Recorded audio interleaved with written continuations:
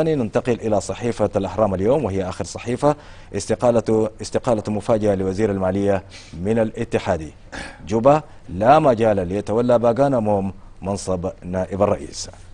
إذا كانت هذه أستاذ هي أهم ما جاء في صحف الخرطوم الصادرة صباح اليوم ونبدأ بهم بهم ما جاء في صحف صحيفة الرأي العام وفيها فرق متخصصة من الأمن لملاحقة مخزني العملة. أعلن جهاز الأمن والمخابرات الوطنية عن تكليف فرق متخصصة بهيئة الأمن الاقتصادي للاطلاع بدورها في إنفاذ أمر الطوارئ رقم 6 بما يشمل عمليات التفتيش والملاحقة للمضاربين في العملة الوطنية أو مخزنيها خارج النظام المصرفي وذلك اعتبارا من الغد. وقال مصدر مسؤول بهيئة الأمن الاقتصادي قال إن الأمن الاقتصادي جاهز تماما لملاحقة وضبط الضالعين في الإضرار بالاقتصاد الوطني حيث سيتم تقديمها للعدالة بموجب أوامر الطوارئ العاملة بالبلاد. وكان أمر الطوارئ رقم 6 قد حظر على أي شخص حيازة أو تخزين ما يتجاوز المليون جنيه. وحظر أيضا على أي شخصية اعتبارية تخزين أو حيازة عملة وطنية لا تتناسب وحجم نشاطها بحد أقصى لا يتجاوز 5 ملايين جنيه. وحدد الأمر عقوبة كل من يخالف ذلك بالسجن مدة لا تقل عن ستة أشهر ولا تزيد عن عشر سنوات. والغرامة ومصادرة الأموال وأماكن التخزين وأي وسيلة استخدمت في ارتكاب المخالفة. يعني أستاذ يمكن فرق يمكن أمنية يمكن متخصصة يعني تلاحق المضاربين ومخزني العملة اعتبارا من الغد. ولعل يمكن كثير يمكن ما زال يمكن هناك كثير من المخزنين للعملة يعني ضربوا يعني بأمر الطوارئ أرض الحائط يعني وما زالوا يمارسون هذه هذا التخزين وهذا. لذلك كونت هذه الفرق المتخصصة لإزالة مثل هذه الشوائب يعني. يعني هل يمكن أن تلعب دور كبير جدا جدا في الحد من هذه العملية؟ هو بالأصل في السودان نعم. الثقافة التعامل مع المصارف تبدو غائبة. ولعله آخر تصريح لرئيس الوزراء المصرف معتز موسى. نعم. كان قد قال أن نسبة الذين يتعاملون مع المصارف من السودانيين لا تتجاوز نسبتهم 10% نعم. 90% من أهل السودان لا يتعاملون مع المصارف ولا مع ثقافتها ولا مع إيداعاتها. هذه واحدة.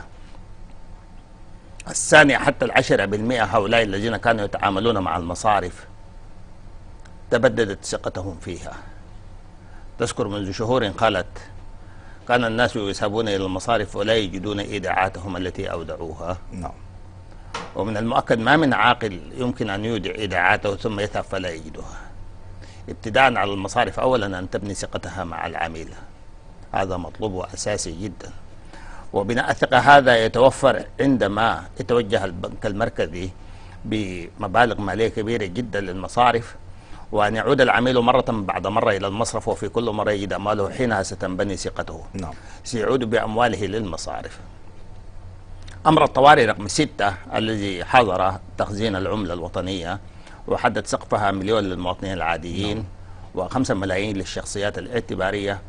أنا تقديري هذا هو يتوجه بالدرجة الأولى إلى مناطق تخزين العملة بصورة كبيرة جدا ولعل هذا يتضح في كرينات السيارات. نعم. هذه الكريانات ربما هي تمثل مصارف إيداعاتها ربما تكون هي أكبر من البنك المركزي نفسه حتى. هؤلاء يتعاملون بمليارات الجنيهات. ولا يتعاملون البتة مع المصارف لا قبل تبدد الثقة ولا حتى بعدها. نعم. هؤلاء ربما الأمر يعنيهم بالدرجة الأولى. آه، الفئة الثانية التي تتعامل كذلك بمبالغ كبيرة جدا ومليارية وأصلا وطنت نفسها على لا تتعامل مع المصارف هي تجار العملة. نعم. هؤلاء كذلك يتعاملون مع مليارات الجنيهات. لأنه كما تعلم رأس مال آه، مهنتهم هذه هو هذه المبالغ المليارية. ومن ثم دائما تكون في أيديهم حتى إذا ما وجدوا مبالغ كبيرة جدا باتوا هم جاهزون لها. هؤلاء هم بالدرجة الأولى. الفئة الثالثة التي كذلك تحوز أموال كبيرة. نعم. لكن ربما هي لا تخزنها لكنها لا تجد سبيلا إلى المصارف. ربما هم فئة المعدنين. آه تعلم أن البنك المركزي منذ شهور خلت كان قد وطن نفسه على شراء أربعة طن من الذهب شهريا لتوفير موارد النقد الأجنبي. هو يتوجه إلى المعدنين.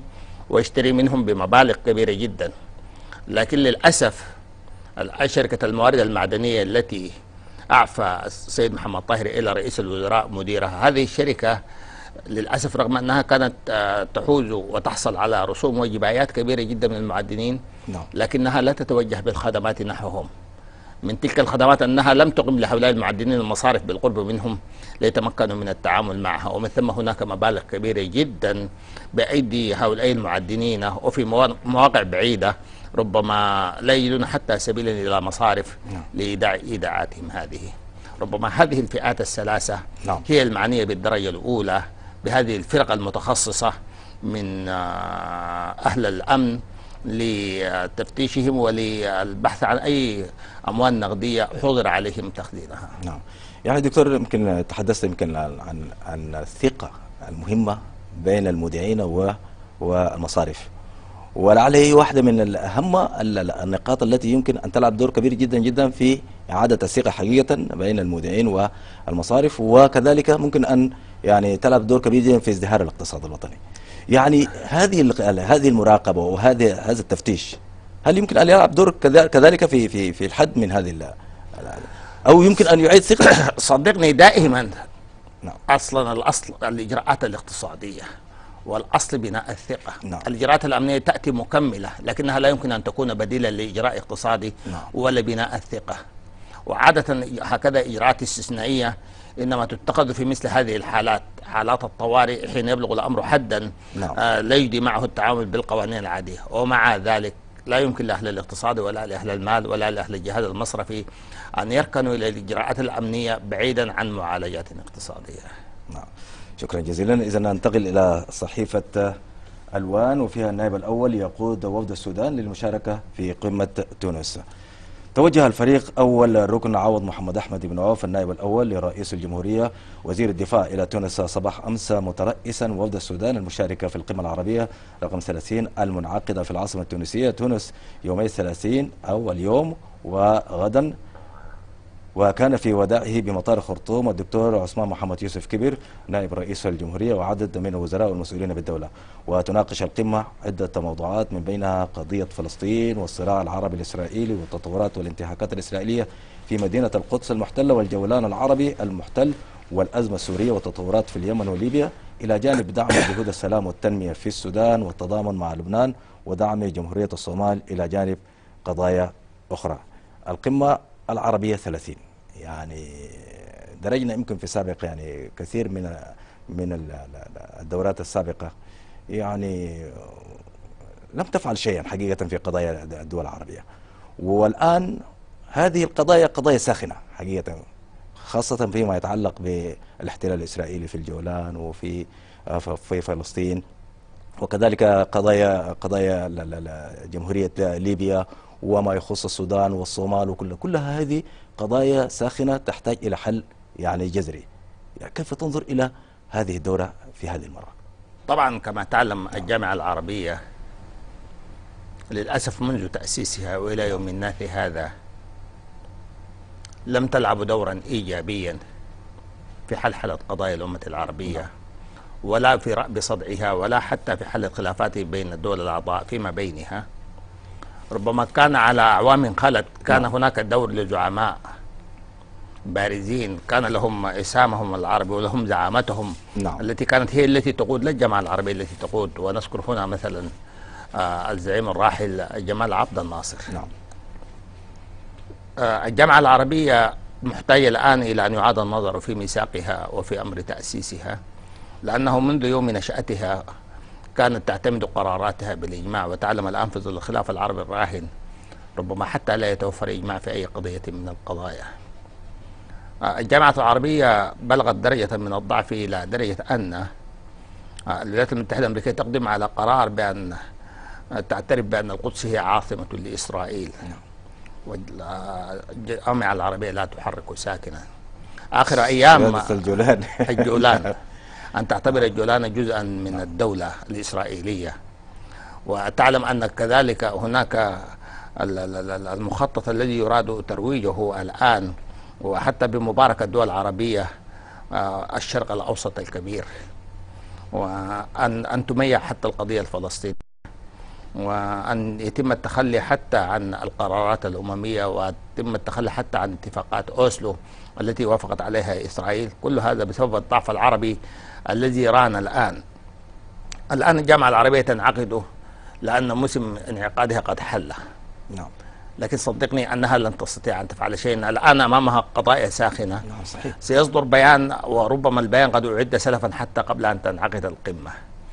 وكله البيان يتضمن عبارات الشيب الإدانة. والتنديد والإدانة لكن الجامعة العربية لم تعد تحرك ساكنا لو قارنا بين الجامعة العربية مثلا والاتحاد الأفريقي الذي أتى من بعدها بزمان الآن الاتحاد الأفريقي أصبحت له قوة مشتركة أصبحت له محكمة أصبحت له نعم. مصرف آه، أصبحت الآن يعني له لا- لا- ميثاق ومن ثم فإن لا- لا- لا- وعنده ولديه سوق الاتحاد الافريقي آه، طفر طفرات كبيرة. بينما الجامعة العربيه ران عليها القعود وران عليها السكون. نعم. يعني أستاذ عبد الرحمن يعني يمكن يمكن تحدثت يمكن يعني أو هناك يأس يعني يمكن في في الجامعة العربية ولكن ربما تخرج بتوصيات يعني كيف يمكن أن تدعمها بالتنسيق مع الأمم المتحدة؟ حتى لا تلعب دور كبير وهذه القضايا أصبحت قضايا مصيرية. طبعا الجامعة العربية الذي لا يجعلني اتفائل نعم. بما يمكن أن تتخذه من قرارات لأن الخلافات الآن تضرب كل عضويتها. ولم تستطع أن ترأب صدعا يعني مثلا الخلاف الخليجي ما بين المملكة العربية السعودية والإمارات والبحرين ومصر في مواجهة دولة قطر. نعم. الجامعة العربية لم تحرك ساكنا في هكذا خلاف. وعديد من الخلافات الآن تضرب على مثلا الأزمة السورية. عبر هذه السنوات الجامعة العربية لم تتخذ فيها قرارا إيجابيا ليبيا كذلك في مسألة الصومال كذلك في مسألة اليمن كذلك. فما الذي يجعلني أتفائل؟ هل الجامعة العربية قد صحت من سباتها وقد أفاقت من نومها؟ حسب أنها ما تزال في مرقدها مثلها مثل أهل الكهف. وإن كان أهل الكهف قد من بعد سنين عددا قد آه، استيقظوا من نومتهم. لكن هؤلاء ربما هذا المنام ربما يكون هو مناما أخيرا. والله نرجو أن يكون هذا غير ما يعني لا تتفاعل به يعني. نعم. بس صدقني الآن الواقع العربي لا يغري بالتفاؤل. والعيز العربي ربما يغري الآخرين بالعدوان علينا مرة من بعد مرة. الآن أقول لك آه، نعم. ربما لا تصدق. تعلم أن إسرائيل منذ تأسيسها ومنذ وعد بلفور في العام 1917 من بعد أن أصبحت واقعا ومن بعد يونيو آه، 1967 واحتلالها للضفة الغربية وكذلك للجولان ولسيناء. ومنذ ذلك التاريخ كانت إسرائيل تحلم بدولة من النيل حتى الفرات. إسرائيل الآن تقول أن الظرف بات مواتي لأن تقيم هذه الدولة من النيل إلى الفرات. لكن الذي يوقف إسرائيل من أن تقيم دولتها في هذا المحيط الواسع الكبير تقول أنها لو أنها امتدت وتوسعت بهذه الدرجة فإنها ستغرق في محيط عربي كبير. ربما يغطي على يهوديتها. لهذا السبب هي الآن تبدو متحفظة في أن تمتد هذه الامتداد لكن ليس هناك من أي حيز عربي يمكن أن يوقف مخططاتها ولا توسعاتها. يعني أستاذ لماذا هذا الضعف؟ لماذا هذا الضعف؟ هذا الضعف صدقني بسبب ال- الشعوب العربية قد آه، جثم على صدرها حكام آه، باعوا القضية. وولاءهم ليس لشعوبهم ولا لأوطانهم ولا لمنطقتهم. ولأنهم آه، ران عليهم ضعف ظنوا بدلا من أن يظنوا أن القوة لله جميعا ظنوا أن القوة هي لأمريكا. وأن من يقف في وجه أمريكا فإن الحياة لن تكتب له. إلى هذه الدرجة هم بلغوا مبلغ هذه الدرجة. وهم كذلك ظنوا أن أمريكا ورضاءها إنما يكون من بوابة رضا إسرائيل. نعم. ولأجل ذلك باتوا يقتربون من إسرائيل ويتمسحون في جنابها. وكذلك هم يظنون أن ثرواتهم هذه التي بين أيديهم إذا لم يطلبوا رضا أمريكا ربما هذه الثورات تتبد الثروات تتبدد من بين أيديهم. هم للأسف بدلا من أن يعتمدوا على شعوبهم لأنهم هم استضعفوا شعوبهم. ومن ثم أصبحت هناك عزلة بينهم وبين شعوبهم. ولأنهم افتقدوا السند الشعبي في أوطانهم بأنهم يطلبون السند من أمريكا. ولأجل ذلك هذا الضعف يبدو واضحا وهذا هو الذي يغري الآخرين بالعدوان علينا مرة من بعد مرة. لكن طبعا سنة الله في أرضه نعم. مثل ما قال الله تعالى لإسرائيل لتعلؤن في الأرض مرتين إسرائيل ستعلو في الأرض مرتين. آه الآن يختلف الناس هل هذا العلو الآن هو العلو الأول أم العلو الثاني. الثاني. نعم. لكن من بعد ذلك الأرض سيرثها عبادي الصالحون. نحن أنا وأنت وغيرنا نرجو أن يعني تعيد هذه الدول يعني سيرتها الأولى قوة ومنعة وعزة إن شاء الله. هذه الدول العربية ستعود إلى سيرتها الأولى نعم. يوم أن توقن أن العزة لله جميعا. وأن توقن أن القوة إنما هي بأن تستند إلى شعبك وأن تمنح الحرية لشعبك وأن تمنح الكرامة لشعبك لأنه في هذه الحالة شعبك سيسندك. أما أن تسيم شعبك الخسف والهوانة وأن تمرق كرامته وأن تنتقص كل حقوقه بالتأكيد هذا الشعب لن يسندك ولا أيدي ذلك في هذه الحالة. أنت تطلب السند من الأعداء بدلا من أن تطلب السند من شعبك. إذن امتدادا لهذا الحديث آه، في صحيفة الوطن قرارات مرتقبة للقادة العرب بشأن السودان وبعض الدول. تحصلت الوطن على مشاريع القرارات التي ستصدر من القادة العرب في اجتماع القمة العربية 30 اليوم الأحد وخاصة بما يتعلق بالسودان والعراق بالإضافة لمشاريع قرارات أخرى خاصة ببقية الدول العربية وتتضمن مشروعا جديدا حول الاعتراف الأمريكي بسيادة إسرائيل على الجولان السوري العربي المحتل واعتمد مجلس الجامعة على مستوى القمة مشروع قرار آخر حول التطورات والانتهاكات الإسرائيلية في مدينة القدس المحتلة ووصل النائب الأول لرئيس الجمهورية فريق أو الركن عوض محمد أحمد بن عوف إلى العاصمة آه، التونسية آه، أمس في آه، تلك اللحظات. يعني امتدادا لهذا الحديث يعني هناك مشاريع جديدة يمكن ستصدر في في هذه القمة. فيما يخص السودان. يعني كيف تنظر ما يمكن أن يستفيد منه السودان وما يمكن أن يتناول آه، يتم تناوله من قضايا تخص السودان في السلام والاقتصاد تنمية الاقتصاد السوداني. أنا تقديري السودان عليه أن يعتمد على نفسه أولا. نعم.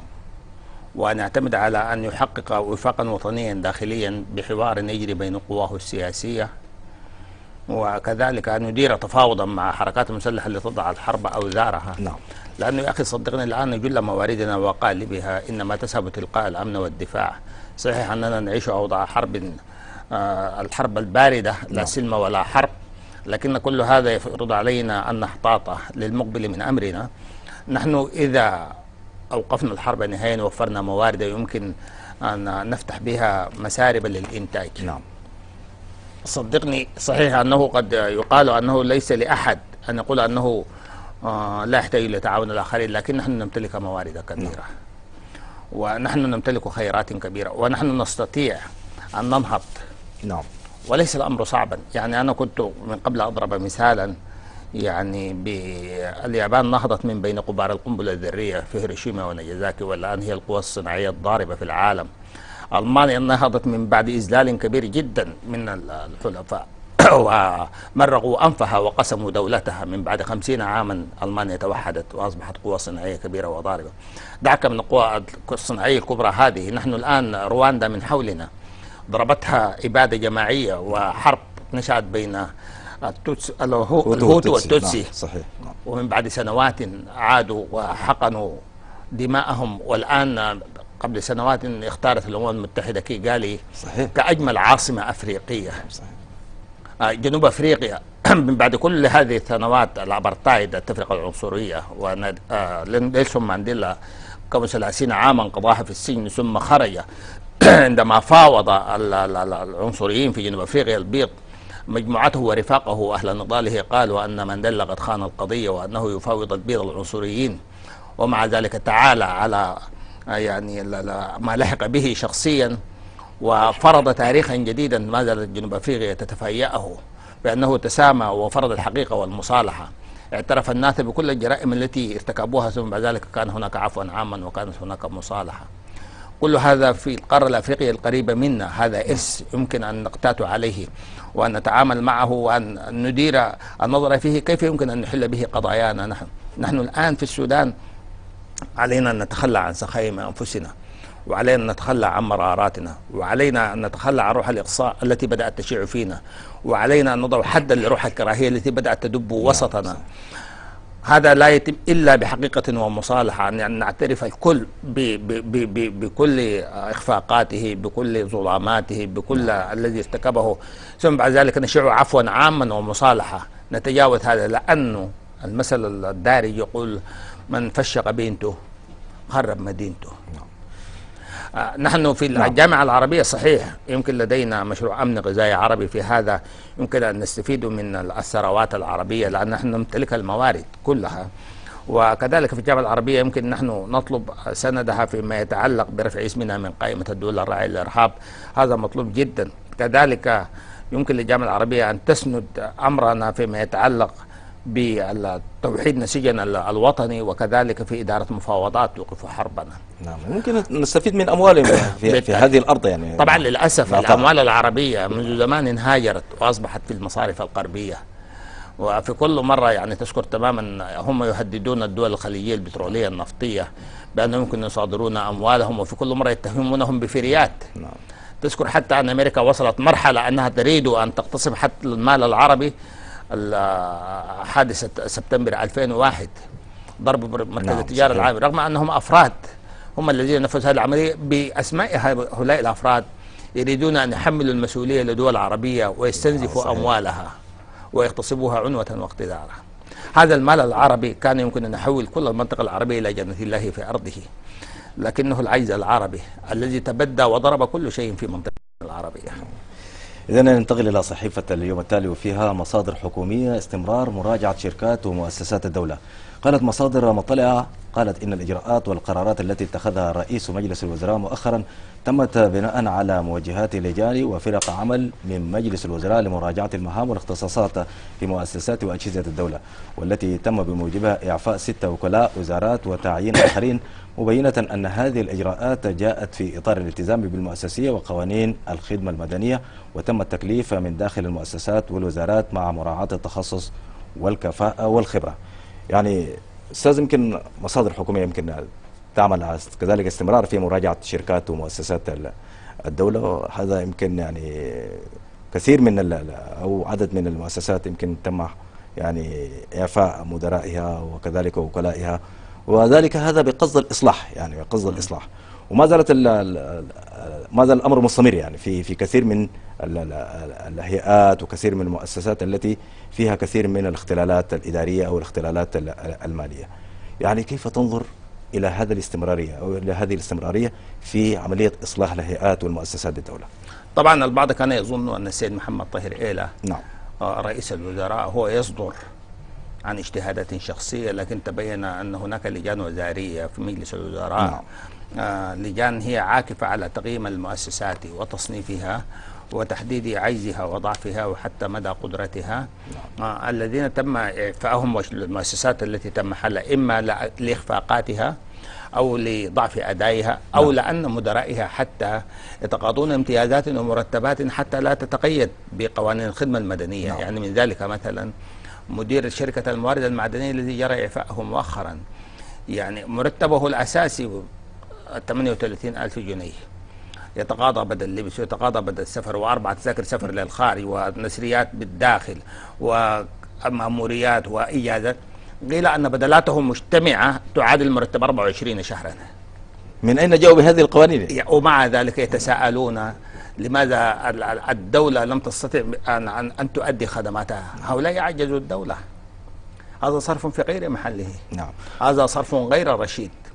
طبعا يقولون هذه عقودات خاصة وامتيازات خاصة. مؤكد هكذا صنعوها لأجل مصالحهم لا لأجل مصالح الدولة. الأمر الثاني كذلك السيد إيلا كان قد قال أنه منذ مرحلته فصاعدا وكلاء الوزارات سيكونون من داخل وزاراتهم. تعلم أنه في زمان مضى كان وكلاء الوزارات يعينون تعيينا سياسيا. كان ذلك على عهد التمكين الذي أظلنا. وكان التعيين يتم على أساس الولاء لا على أساس الكفاءة. الآن إلا يريد أن يمكن الكفاءة وبالفعل بدأ. تذكر تماما على عهد السيد معتز رئيس الوزراء المنصرف كان الأمين العام الذي عين طبيبا جاءوا به من خارج مجلس نعم. الوزراء. الآن إلى الأمين العام لمجلس الوزراء تم تعيينه من داخل ال- ال- الإداريين داخل مجلس الوزراء وأقدمهم خبرة نعم هذه واحدة نعم. الثانية تعلم أن الوكيل هو الرجل التنفيذي الأول في أي نعم،. وزارة نعم. والخدمة المدنية لم يتم تخريبها وإفسادها إلا يوم أن دخل السياسيين عليها ويوم أن تقول السياسيون على سلطات الوكيل التنفيذي من هنا بدأ تخريب المدنية. الآن يتحدثون عن إصلاح الدولة وصدقني أن الدولة لا يمكن أن تصلح إلا بإصلاح الخدمة المدنية. لأجل ذلك إيلا قد بدأ ابتداء بإصلاح الخدمة المدنية. آه، ال- الآن في الصف تنتظر كثير من المؤسسات ونحن نقول للذين ينتظرون أخوك كان حلقوله نعم بالراسك. بالراسك. نعم. نعم. يعني كثيرون في الصف نعم. وكثيرون في الانتظار. نعم. يعني أستاذ يمكن بحر إدريس أبو قرده يمكن وزير ال- العمل. قبل ذلك تحدث عن هذا هذه المسألة واستغرب استغراب كبير جدا يعني أن هناك يعني مثلا أنت في الرابعة وأنا في الرابعة مثلا. نعم. يعني أنا أصرف مبالغ مبالغة وأنت لا تصرف أكثر من 2000 طبعا هذا هو التخريب. يعني, يعني- دور وزارة العمل يعني في, على في يمكن أن تعالج ال- سنوات نعم. سنوات ماضيات نعم. كان هناك هيكل موحد للخدمة المدنية. وكان الذي يعمل في وزارة العمل والذي يعمل في وزارة الصحة والذي يعمل في وزارة أخرى يتقاضون ذات المرتبات وذات الامتيازات. وفي أحيانا تكون هناك بدلات محددة للأطباء في وزارة الصحة تكون محددة جدا وبالقانون ثم جرى تخريب القانون وجرى الامتيازات والعقودات الخاصة. العقود الخاصة يا أخي هذه جرى إلقائها منذ سنوات لكن لأنه هيبة الدولة لم تعد تفرض. هؤلاء يتحدون الدولة وهيبتها وسلطتها. ويفرضون عقوداتهم الخاصة إلى هذه الدرجة. السيد بحر إدريس أبو قردة الذي استشهدت به أنت وزير العمل قال عشرات المحاولات جرت لإصلاح الخدمة المدنية كلها فشلت لأن الإرادة لم تتوفر لإصلاحها. ولأن هؤلاء الذين يسبحون عكس تيار الإصلاح هم هؤلاء الذين أفشلوا آه، كل محاولات إصلاح الخدمة المدنية. لأن الإصلاح يعني سلب هؤلاء امتيازاتهم ومخصصاتهم وصلاحياتهم ولأن هؤلاء قلبوا مصلحتهم على مصلحة الدولة نفسها. نرجو أن يكون هناك اصلاحا شاملا إن شاء الله. بالتأكيد نعم إن شاء الله. بالضرورة. إذا ننتقل إلى صحيفة الانتباه وفيها البرلمان يجري تعديلات واسعة على قانون جهاز الأمن. شرع البرلمان في إجراء تعديلات واسعة على قانون جهاز الأمن والمخابرات الوطني لا سيما المواد المتعلقة بكيفية ومدة الاعتقال فضلا عن اتخاذ وإخضاع موازنة الجهاز للرقابة والمراجعة بواسطة البرلمان وتعديلات حول الحصانات التي يتمتع بها الأفراد والضباط. يعني جهاز مراقبة كبير يعني يعتمد عليه في الدولة. كذلك يخضع لل- للمراقبة وتعديل القوانين خاصة فيما يتعلق بمدة الاعتقال ومدة كذلك يعني يمكن يعني في دور كبير جدا جدا في ضبط أو معالجة القوانين ال- الأمنية موجودة. وكذلك مراقبة الموازنة لجهاز الأمن. يعني هل هنالك ليس هناك كبير يعني على على الإصلاح أنا أعتقد هذا واحد من نعم. ال- ال- ال- ال- ال- ال- ال- ال- ال- بركات التغيير الذي الآن ندخل عليه نعم. ونتلمس خطانا فيه تعلم أنه منذ فترة كان هناك حديث عن مراجعة القوانين نعم. من بينها قانون جهاز الأمن والمخابرات الوطني. صحيح. وتعلم أنه حين يتم ضبط مسألة المدة التي يعتقل فيها الإنسان أو يتم حبسه هذا من المؤكد آه، يحافظ على كرامته وعلى حقوقه القانونية. هذا أمر مهم جدا. وأن تكون الموازنة خاضعة كذلك للضبط هذا كذلك آه، إذا كنا بدأنا بجهاز الأمن فمن باب أولى أن نمضي إلى الآخرين. صحيح. آه، هذا الضبط المالي وكذلك هذا الضبط القانوني من المؤكد هو الذي يضع عتبنا على دولة آه، تحترم فيها حقوق الإنسان ودولة كذلك تحترم فيها النزاهة والشفافية لأنه كما تعلم أن عالم اليوم الحكم الراشد فيه إنما يقوم على ركائز ثلاثة النزاهة والشفافية ومكافحة الفساد نعم. فإذا بدأنا نحن بجهاز الأمن في باب أولى أن الآخرين صحيح. بالتأكيد سنمضي نحوهم. ونتجه باتجاههم إذا ننتقل إلى صحيفة المجهر السياسي وفيها شورى المؤتمر الوطني يجيز الرؤية المستقبلية للحزب ويشكل أربع لجان. أجاز مجلس شورى المؤتمر الوطني في اجتماعه أمس السبت بمركز الشهيد الزبير مسودة الإطار المفاهيمي كرؤية لمستقبل الحزب ومساره خلال المرحلة المقبلة. وقال رئيس اللجنة السياسية بمجلس شورى المؤتمر الوطني محمد حسن الأمين للصحفيين قال إن مجلس الشورى حث لجان المكتب القيادي بتسريع الخطى لإنجاز مهامها لإعداد الخطط والمسار التي تفصل ما أجمل في الإطار المفاهيمي الذي يرتكز على الحوار والإصلاح وكشف عن تشكيل أربع لجان تختص بالإصلاح الحزبي والسياسي مساعي الحوار حل الأزمة الاقتصادية والإعلام. يعني كيف تنظر آه إلى هذا الحديث حول شورى المؤتمر الوطني في معالجة آه الحزب الداخلي؟ طبعا المؤتمر الذي انعقد أمس كان مؤتمرا مهما جدا. لأنه هذا أول مؤتمر شورى ينعقد في غياب الرئيس البشير. الرئيس البشير من بعد أن قال أنه يقف على مسافة واحدة من كل القوى السياسية. نعم.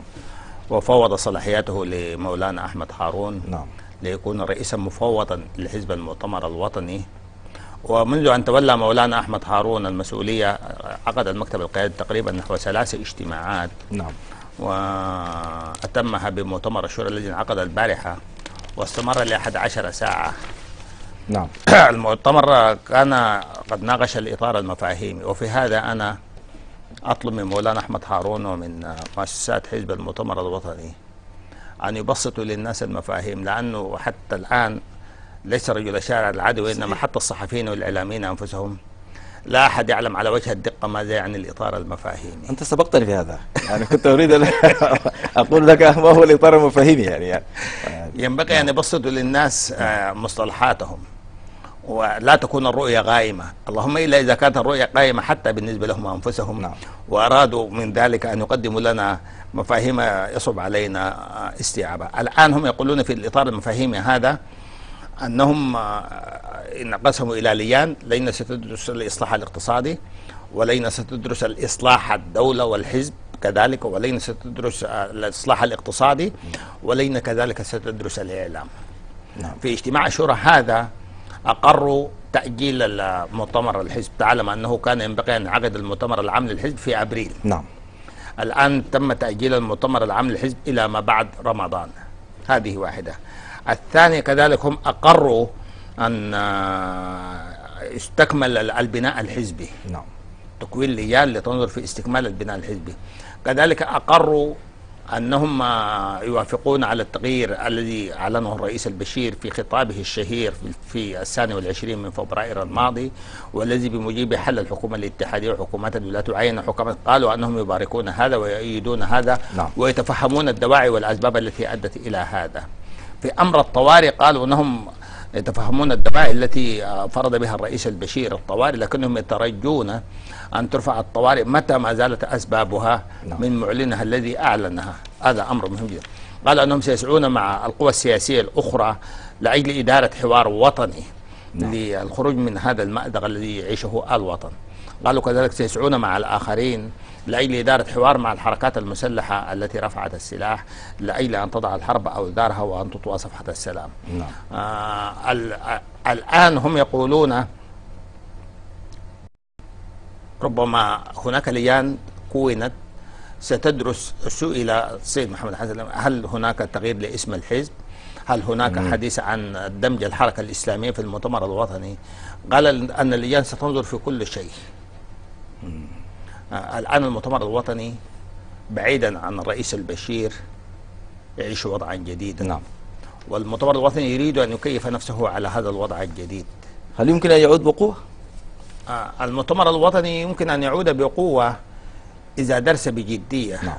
مواطن الخلل فيه وقيم وشخص إخفاقاته وكذلك شخص وقيم مواطن القوة فيه وكذلك آه، يعني نظر في ال- الذي حاد به عن طريق في سنوات ماضيات. نعم.